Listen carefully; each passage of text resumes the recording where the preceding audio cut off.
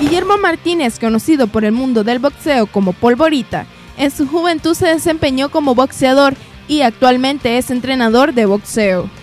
Polvorita Martínez comenzó en el mundo del boxeo desde su infancia y gracias al apoyo de sus padres se volvió boxeador. Bueno, yo desde niño eh, vi el boxeo en mi ciudad natal, Masaya, en, un patión que estaban practicando y pues me quedó en mi mente lo que era el boxeo y me gustó desde niño. ¿Ves? Pues mis padres me apoyaron en que el boxeo a mí me gustaba. Y me fui a vivir a Granada, mi mamá me vino para allá con mi papá y a mí se boxeador en Granada, en Iguana Verde, que todavía existe. Y de allí me hice boxeador, pero no era yo el polvorita, nosotros nos decíamos chinitos. Guillermo ganó su nombre como polvorita gracias a su hermano Enrique Martínez, que en paz descanse, y también por su familia. Ahí destacó Enrique, mi hermano, me quiero meterme a boxeador, Pepe, bueno, dale pues yo te apoyo. Cuando él ya se hizo campeón nacional amateur, él después pasó a ser profesional. Ya como profesional en este estadio Crancho, a él los fanáticos le pusieron el polvorita, porque el fanático decía, este, como la pólvora solo le enciende la mecha y va de... Y de ahí nace el polvorita. De ahí como la costumbre nuestra, el polvorita se ríe en la familia. Mi mamá fue una dirigente de, eh, dirigente de mercado, le decían la Juanita la polvorita, por lo mismo de mi hermano. Y lo mío, eh, le damos seguimiento al nombre de él. Y toda la familia nos dicen polvorita.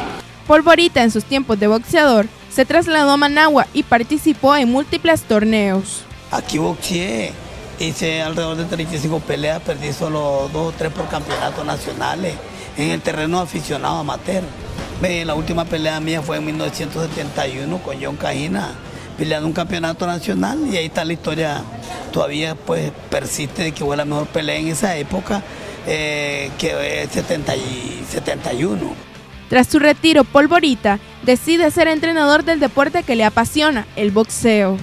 Cuando vi que yo no daba la talla por mis obligaciones que tenía, pues me retiré y pasé a ser entrenador, pero anduve con los mejores entrenadores que venían de afuera, anduve de carga cubo cinco años, me rocé con los mejores entrenadores como Currodó, Macuyo Hernández, Chilero Carrillo que trabajan aquí a, a Rubén Olivares, muchos entrenadores mexicanos de afuera, con los cuales yo me ofrecía andar con el cubo para, para aprender.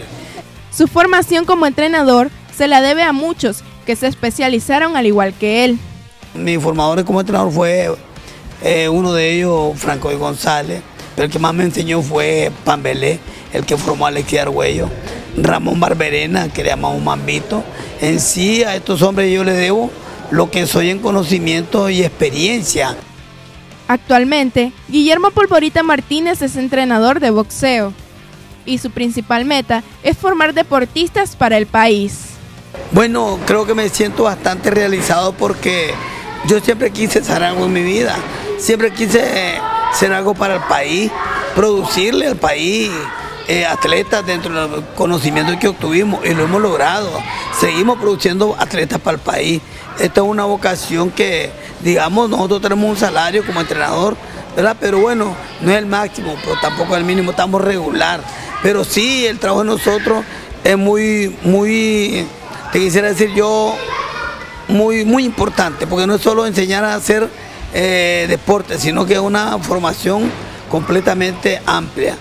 El propósito de este entrenador es enseñar a los jóvenes desde los principios y valores. Aquí al muchacho se le forma con principios y valores, ¿verdad? Eh, eh, ¿Qué papel juega él dentro de la sociedad como deportista, en su casa, en la comunidad, al país y fuera del país? Los mejores diplomáticos de cualquier país del mundo son los deportistas.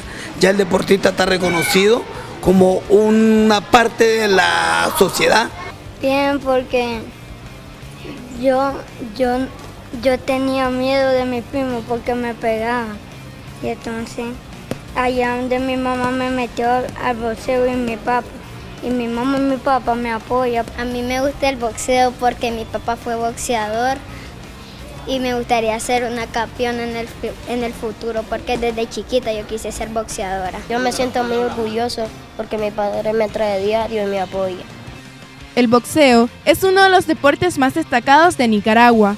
Polvorita Martínez es uno de los entrenadores del país que demuestra amor y dedicación en lo que hace, siendo un orgullo nicaragüense. Elizabeth Blandino, Voz TV.